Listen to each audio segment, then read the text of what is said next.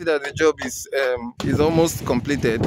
They have done like 80% of it. It's remaining like 20% and the installation of the accessories. You know, this is this project is done by Docherich Nigerian Limited, and we are proud of our work. It's very neat, no leakage, and very very good. You know, if you need more information, you know what to do. Thank you and have a wonderful day.